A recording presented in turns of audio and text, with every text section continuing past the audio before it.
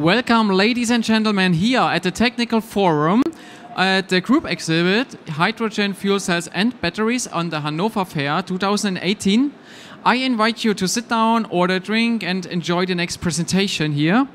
Our speaker will be Mr. Subir Roychoudhury, the Vice President Research and Engineering at Precision Combustion Inc., and he will present compact hydrogen and syngas generators, as well as fuel cell systems. Please welcome with me Mr. Roychoudhury. Thank you, Fab. Um, good afternoon. Um, I'll be um, talking about some of the things that we are developing at Precision Combustion. So, uh, my partner in crime is Tony Anderson. He's also available at the booth just over, the wall there. And if you wish to speak with us, you can come by and speak with us. So we are located in Connecticut. Connecticut is between New York and Boston. We're a small company. We're about 42 to 45 people. Um, our focus is on developing. Our focus is on developing um, uh, innovation and product development and we make catalytic reactors. Our catalytic reactors are used for everything from burners to reformer systems um, uh, and a bunch of other things. And our focus is going from concept to advanced prototypes. So that's where um, we do. So beyond advanced prototypes, we hand it on to somebody else. So our core technologies, different areas. We work in power and propulsion, work in combustion, um, purification, and reactors and sensors. And you can see an assortment of products. We make everything from generators for uh, military generators all the way to syngas generators for industrial applications. So today, um, I wanted to focus on just on some of our reforming applications, more specifically the ones related to fuel cell generators and hydrogen generation. So as you are all mostly familiar with, there are three types of reforming, partial oxidation, steam reforming, and autothermal reforming. Uh, we work in all three areas, and all three reactors use our catalyst. We use what the microlith catalysts uh, that allow us to make these things extremely small, uh, high selectivity, uh, and uh, with very good heat flux, for instance, in the steam reforming applications. And they can be um, process intensified. For instance, the autothermal reformer includes the sulfur trap, the steam generator, the reactor, startup, everything. And the focus has been on developing complete systems, complete fuel cell systems, um, hydrogen generation for syngas for industrial applications, and there are applications which require, which use PEM stacks, which require high purity hydrogen, and so we've been working on some of those applications. Um, so the catalyst, just a couple uh, words on the catalyst. We use a mesh type material. We've uh, patented it, developed the coating over many, many years. So when you're talking about coating catalyst on mesh type material, these are very fine meshes. And you have to be very careful about the adhesion as well as the cohesion. So the adhesion means that the catalyst has to be adhered to the base metal. And the cohesion means the catalyst between itself has to stay together so it doesn't fall off. And that's a process we've matured, and we do it in an automated process. Um, we hold the process uh, proprietary, but we patent all the reactors and uh, reactor design. Okay, so I'll get down to a, a SOFC generator system that I wanted to discuss today. So if you generally classify, take a generator, these are the 10 components that you would have in there.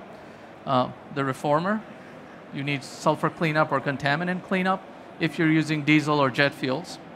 You have the SOFC stack, uh, power conditioning, which is the power electronics for whatever voltage you're looking for.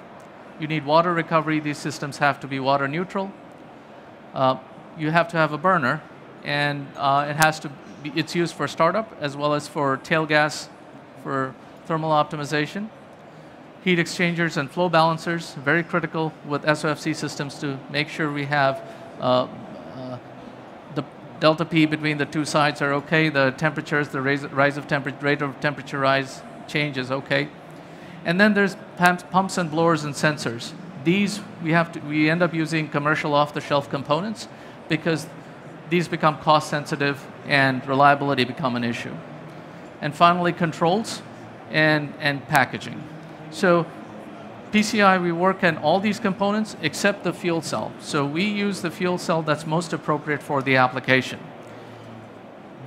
So I'll talk a little bit about all of these components in terms of um, where we are and what we are doing, just to give you an overview of the concept. So we work on everything from about 100 watts to about 300 kilowatts. We've actually built systems um, all the way all the way through that range, and they depend upon different, different applications, whether it is for natural gas, propane, uh, diesel, jet fuel.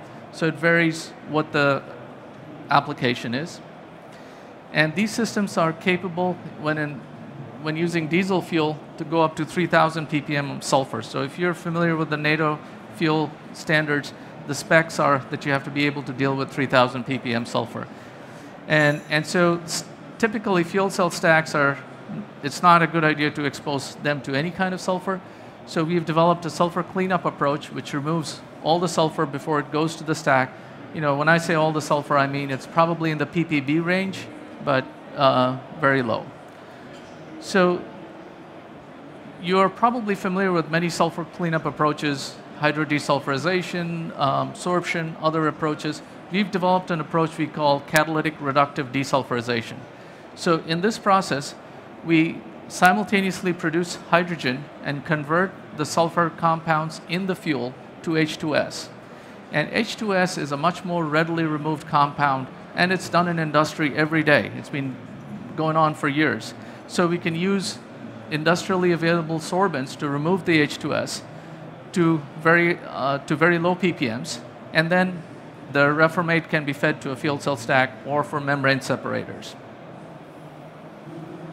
Um, so this is uh, some data on, on a 10 kilowatt system, 10 kilowatt electric system.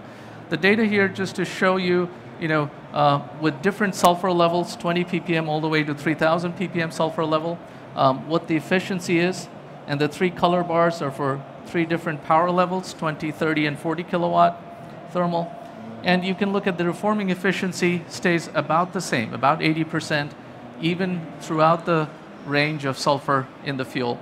And the sulfur is eventually removed from the reformate. So in the product, you have no any sulfur coming out. And typically, if, you, if you're looking at an equilibrium, if you're looking at under those conditions, what um, equilibrium would say, if you look at the experimental results, they're fairly close. They're within, within a few percentage points of what you would expect. And again, in these, um, in these uh, reformers, our focus was to minimize the amount of uh, methane formed. Um, we can control that to a higher or lower level depending upon the application. So the reforming efficiency is then generally about 80%, and if you're comparing it to equilibrium, it's greater than 95% in general. Now this is for a 10 kilowatt system. If for a 1.5 kilowatt system, again, similar results, reforming efficiency about 80%, and the form, and the composition of the reformate about the same when you're using an ATR approach, for instance. Again, I'm not going to dwell on the, there's partial oxidation and steam reforming. I'll get into steam reforming a little later, but the products are all different for each of those. And then there's the desulfurization approach. So in general, people have been using pellets. When you use pellets, you get a gradual breakthrough over time. And what happens is, let's say if you design a pellet for, say, uh, 200 hours, um, you expect at about 50 hours a breakthrough to occur. But if you, uh, so the, what we do is take the sorbent material and put it on meshes. And when we put it on meshes, we get a very sharp breakthrough. So if it's designed for 200 hours, it'll break through at 200 hours. So we know very clearly where it's going to break through. And the capacity, therefore, is also larger because we make more of the surface sorbent surface available to the gas phase. And so we've been building these for uh, in, in, in several applications, and they, they uh, they seem to be working fairly well. Okay, next item is power conditioning and electronics. So when you're building a fuel cell system, this becomes fairly challenging because you have to work with what the stack is capable of doing. If you have a load that ramps up too quickly or, or shuts down too quickly, you have to, your power electronics has to be able to offset that. Whether you use ultra caps or rechargeable batteries, it all depends, but those things have to be compensated for. So in terms of what we do, we have a power conditioning charge and load system. We have a rechargeable battery, um, output protection, and external load protection. And all these are built into the power conditioning system that is all packaged within the box of the system. We developed the power conditioning and management system internally uh, that allows us flexibility in terms of what we do, but then in the end, it's a custom board with a custom battery that gets done. Uh, water neutral operation. So some of these applications we're working for, these are deployed units, so you need to have water neutrality. Uh, so when you're talking about water recovery from these systems, um, it's important to note that uh, 60, if you can get 60% of water recovered from the exhaust, even at about 75% fuel utilization in the stack, you can get water neutral operation. And so we've tested our water recovery system over all the way up to 50 degrees C air temperature, and we are over 60% water recovery for those conditions. So under all conditions, or under majority of the conditions, we seem to operate with water neutral. In fact, it's water surplus in most conditions. Um, okay. There's a term called the tail wagging the dog. In many cases, the burner controls the reformer and the stack. And, and so this is where we've developed a, a burner which sounds simple, but it's a, two it's, it's a dual burner. It can burn both anode exhaust as well as diesel fuels, and it has built-in heat exchangers and equalizers for flow and temperature equalizing.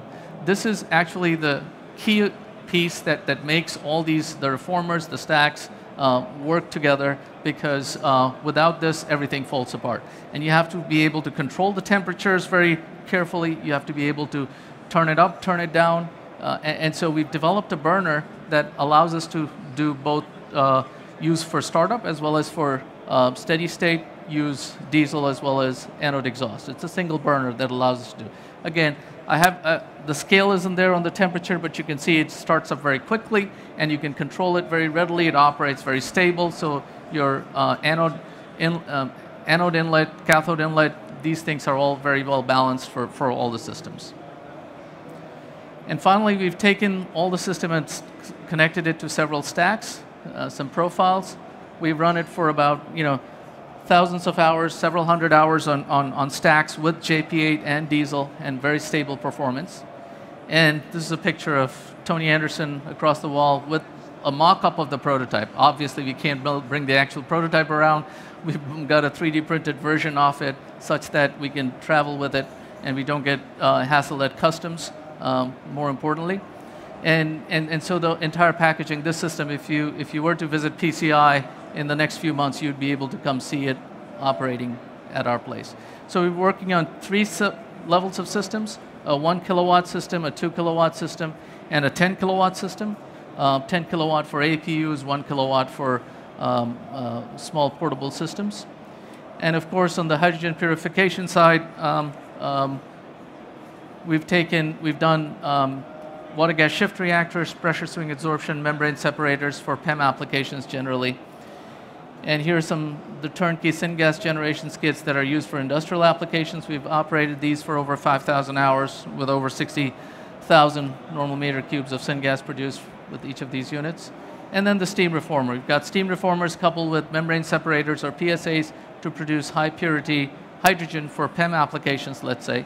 And these can operate on diesel or, or low very low sulfur diesel, 2 to 5 ppm sulfur as well as natural gas. And these are, again, very compact systems that have the heater and the um, uh, reformer integrated together. Um, system, you know, these produce about, um, about two and a half kilograms per hour sort of rate systems. Very high purity and about 80% of the efficiency of hydrogen in the fuel coming out into it. So in summary, uh, you know, several simple approach for compact reformation and desulfurization of high sulfur fuels. Uh, we've developed BOP components and packaging, um, complete generators. We're in the process of doing three sets of generators and, um, and high purity hydrogen generation for PEM applications. So, and if you have more questions, you can come over next door and, and visit us. Um, we'll be there. Thank you. Thank you very much for the presentation, and we still have time for a short question. If there is a question in the audience, this is your chance now. If not, uh, just go to booth E78 uh, for any further question, and go uh, there. You find Precision Combustion Inc. Um, yeah, and you can get in contact there. Thank you very much for the attendance. Thank you very much for the presentation. Thanks. Thank you.